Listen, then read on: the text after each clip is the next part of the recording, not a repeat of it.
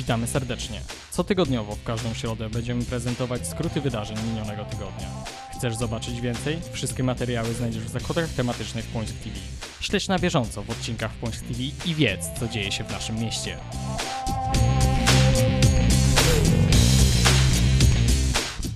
Dwudziestego czwartego czerwca o godzinie 19 w sali teatralnej parafii świętego Maksymiliana Kolbe odbył się wieczór poezji księdza Janusza Cegłowskiego. Motywem przewodni wybranych wierszy była postać świętego Stanisława Kosty. znowu zainspirowało do tego, żeby pewne refleksje y, poczynić, a one potem gdzieś się przelewają na papier.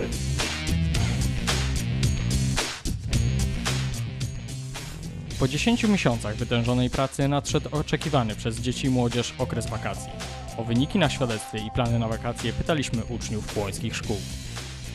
Jakie plany na wakacje?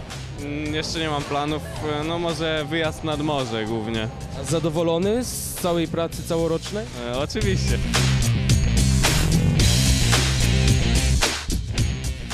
Piątek o godzinie 12.30 udaliśmy się do Miejskiego Centrum Kultury, aby życzyć powodzenia ludowemu zespołowi artystycznemu wyjeżdżającemu na festiwal do Izraela. Pierwszy od kilkudziesięciu lat właśnie nie, będzie, nie będziecie na Kopalnotce w Płońsku. Co roku e, od początku istnienia zespołu byliśmy na Kupanotce. E, no niestety tak się złożyło, że w tym roku mamy mm, zaproszenie do Izraela. Tym samym dniu koło godziny 15 wśród grupy posłów PiS prowadzących akcję przed drugą turą wyborów spotkaliśmy eurodeputowanego Tadeusza Cymańskiego. Nie przekładam swoich ambicji, zamiłowań wprost e, na dzieci, e, także jeżeli chcą, to grają, ale nikt chyba pasji takiej szachowej nie ma. O godzinie 19 w Galerii P odbył się wernisaż członków Stowarzyszenia Twórców Ziemi Płońskiej Art Płona. Dominowały pejzaże polskiej wsi oraz zabytki Płońska i okolic. Tytuł tej wystawy jest to subiektywnie, artystycznie i płońsko. E, Proszę Państwa, e, dziś spotykamy się właśnie na wystawie zbiorowej. Po prostu zaistniała z potrzeby serca, ale i z potrzeby tego, co ludzie tworzą.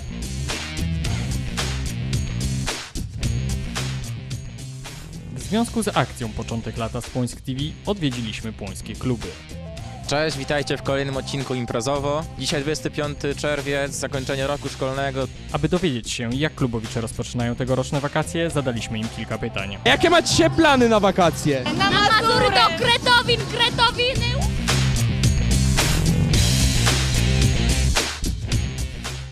W niedzielę 27 czerwca w parafii świętego Maksymiliana Kolbe obchodziliśmy jubileusz 25-lecia kapłaństwa księdza kanonika Zbigniewa Sajewskiego.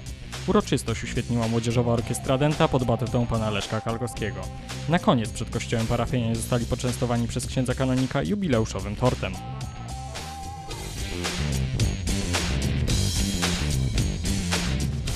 Dniu 29 czerwca koło godziny 16 na ulicy Grunwaldzkiej spotkaliśmy minister Julię Piterę. Wizyta miała na celu wsparcie kandydata PO na urząd prezydenta przed drugą turą wyborów. Dobrze wiem, e, jakie są problemy w którym mieście, w, którym gminie, w której gminie, e, dlatego że ludzie, jeżeli czasami mają problem, do mnie piszą.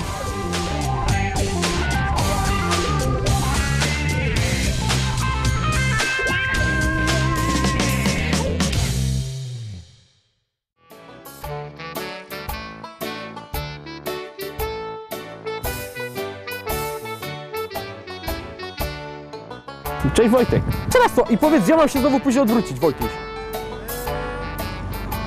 Na Volkswagena. stronę powiedzmy Opla. Znaczy bardziej niż Opla.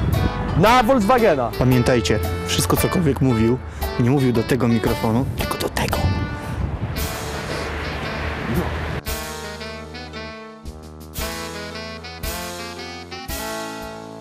Raz.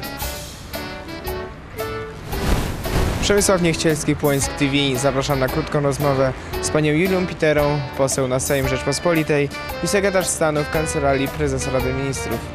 Dzień dobry pani poseł. Aha, dobrze. Pani minister, przepraszam, szaty. Pozdrawiam widzów. Dziękuję.